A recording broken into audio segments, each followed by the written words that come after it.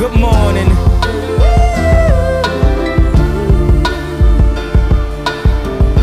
Wake up, Mr. West, Mr. West, Mr. Fresh, Mr. By himself, he's so impressed.